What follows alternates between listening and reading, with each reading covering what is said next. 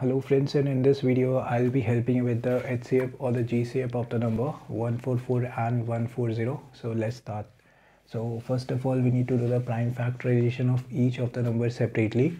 So first we'll do for 144 and then we'll do for 140 okay? So let's start with 144 we'll check with the lowest prime number 2 uh, is the number 144 divisible by 2 yes it is because number is even. So divide it and we'll be having 72 72 is again divisible by 2 because number is even and we'll be having 36 it is again divisible by 2 we'll be having 18 18 is again divisible by 2 we'll be having 9 now 9 is not divisible by 2 because it is an odd number. So we'll check with the next lowest prime number that is 3 is 9 divisible by 3 yes it is. So divided and we'll be having 3 3 is again divisible by 3 we'll be having 1 once we get 1 we are done with this. Now we need to do the same with the number 140 again we'll check. Is the number 140 divisible by the lowest prime number 2 yes it is because number is even.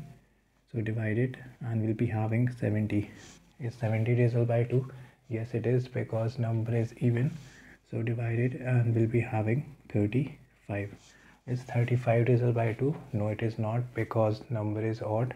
So we'll check with the next lowest prime number. That is 3 is 35 divisible by 3 it is not. So we'll check with the next lowest prime number. That is uh, 5 is 35 divisible by 5 yes it is.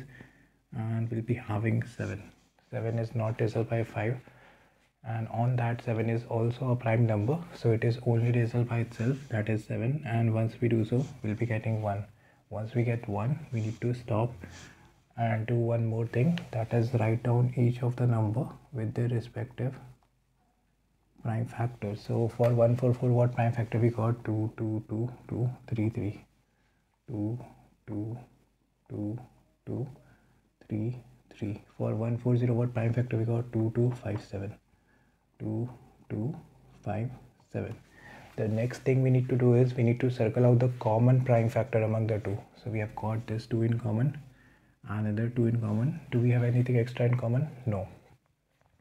So we have got 1 2 in common another 2 in common. If we multiply we'll be getting the answer as 4 so the HCF or the GCF of the number 144 and 140 will be 4 so this is all. If you found the video helpful please hit the like button. Do consider subscribing. And thanks for watching